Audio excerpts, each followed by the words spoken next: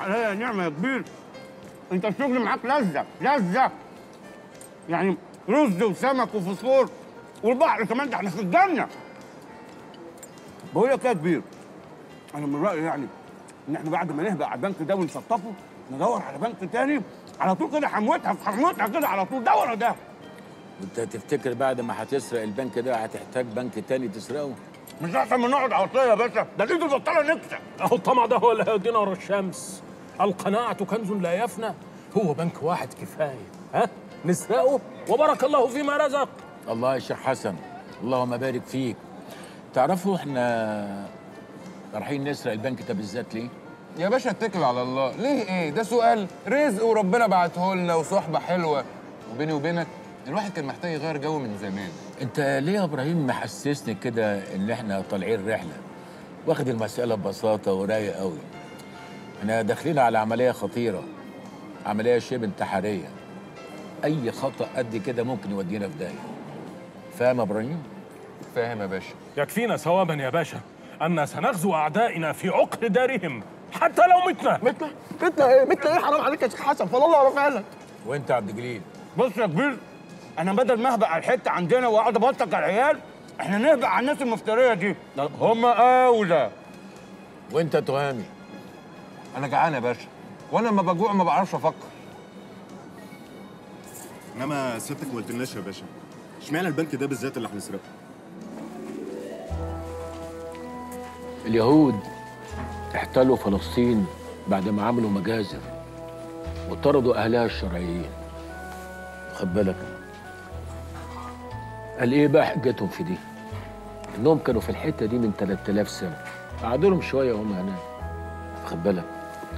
بعد الحرب العالمية الثانية إسرائيل طلبت ألمانيا بمليارات تعويض على اللي عمله هتلر في اليهود. ومحدش يتكلم. الألمان دفعوا لهم ولسه بيدفعوا لهم لغاية دلوقتي. واليهود يقول لك إيه؟ ده حقنا. بعد كده اتدوروا على سويسرا. إيه بقى؟ قال لك إحنا جدودنا كانوا حاطين فلوس في بنوك سويسرا أيام الحرب. إحنا عايزين الفلوس دي. خدوا من سويسرا مليارات. وقالوا ده حقنا. ومحدش يتكلم. إحنا كمان من حقنا ناخد حقنا. يا نجيبيه الحق لا يموت أبدا. الله يفتح عليك يا شيخ حسن. يا أمين. يا أمين. يا أمين. أيوه بس إحنا لينا حق عندهم يا باشا. أمال إيه؟ بني إسرائيل لما خرجوا من مصر خدوا معاهم ذهب وفضة ونحاس. بما يساوي مليارات دلوقتي. يا ولاد الحرامية أتاري سعر الحديد ولع في مصر. بنك اليومي اللي إحنا هنسطو عليه فيه ما لا يقل عن نص مليار دولار. فضل ونعمة يا نجيبيه بارك الله في القليل. الفلوس دي جزء من المعونة الأمريكية العسكرية اللي إسرائيل بتدفع منها مرتبات الجيش الإسرائيلي. الجيش الإسرائيلي اللي دمر غزة ودمر الجنوب وقتل مدنيين الفلوس دي هناخدها من هناك ونجيبها هنا في مصر. وكل واحد هياخد نصيبه. وزي ما رحنا زي ما جينا. يا أمين! يا أمين! يا أمين! يا أمين! بقول لك إيه يا ابني؟ ما تشوفوا لي أمين ده راح فين؟ الست صوتها اتنبح من الصبح. سيبك منها يا باشا. الست دي دماغها مش مظبوطة. بس يا باشا مش كان كفاية أربعة عشان يقوموا بالعملية دي؟ على الأقل كده كان كل واحد خد له 125 مقفولين. عليا النعمة يا باشا الواد ده طماع وزبالة. ولو جه معانا العملية دي هتفشل. ما بلاش أنت تتكلم عن الفشل يا أبو نطة. أنا بقول طالما إحنا مش متفقين مع بعض كده روحوا أنتوا وأنا أروح. اخرس ياض انت وهو ما حدش له قرار في الموضوع ده غيري. فاهمين؟ تسليم يا باشا. يا دي النور يا دي النور. أتاري بورسعيد منورة يا جدعان. إزيك يا ناجي بيه إزيك يا ناس فرج اقعد منورين يا شباب. حماد المشاريب دي عندي ما تحسبش البهوات على حاجة. إحنا مش جايين نغرمك يا ريس فرج ده من بعد خيرك يا ناجي بيه عملت لنا إيه في الفيلا اللي قلت لك عليها؟ الأولاد بقالهم يومين ما ناموش ونفسهم يناموا. أنا بس عايز أعرف أنت ليه مصمم على بور فؤاد؟ ما بورسعيد مليانة فيلل وشقق وعلى البحر وآخر قلاجه يا سيدي هو أنت اللي هتسكن ولا أنا؟ أنا عايزها بور فؤاد. خلاص ما تزعلش يا ناجي بيه. أنا عامل عليك سعرها حراق شوية. أنا كلمتك في السعر أنا ناقشتك في سعر خالص. خلاص عشر دقايق على ما نشربوا الشاي الواد يجيب المفاتيح ويجي. 10 دقايق. العيال هيناموا على روحهم. خلاص يجوا يريحوا عندي في البيت. يروحوا عندك في البيت؟ بقى كل دول هيروحوا عندك في البيت؟ يا أمين!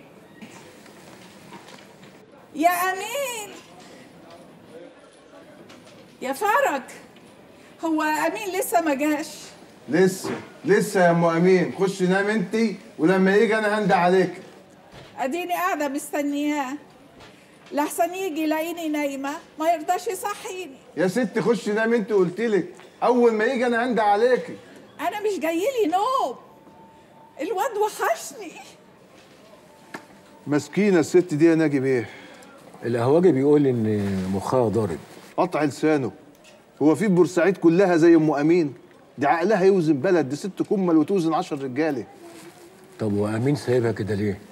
أمين مش جاي تاني يا باشا. ليه؟ أمين مات من خمس سنين.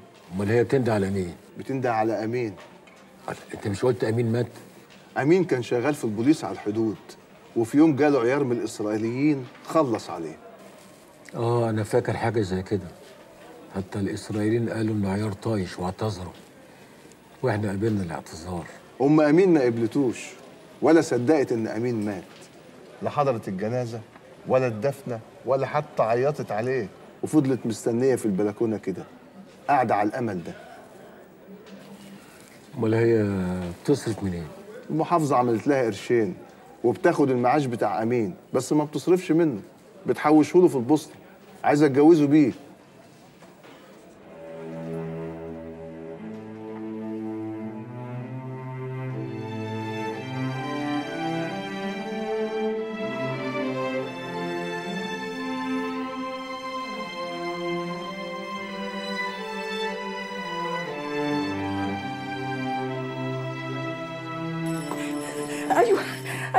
حبيبي. أيوه يا مضايا جاي حالا مساء الخير يا حاجة مين حضرتك؟ أنا ناجي عطله القائد بتاع امين ابني اتفضل يا سعادة الباشا. اتفضل. اتفضل حضرتك. أهلا وسهلا. أهلا وسهلا.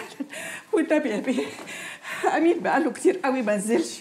وحشني.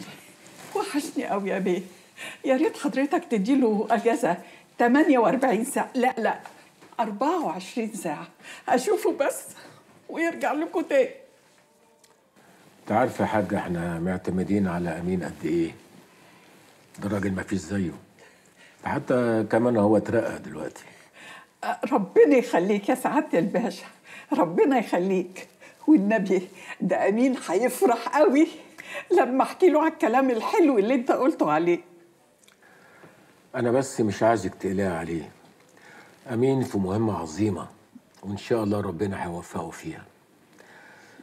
أنا جاي لك يا حاجة بنفسي عشان حاجتين. الحاجة الأولانية أنا بلغني إنك أنت ما بتناميش وقلقانه عليه. آه. طمني. أمين زي الفل. نامي.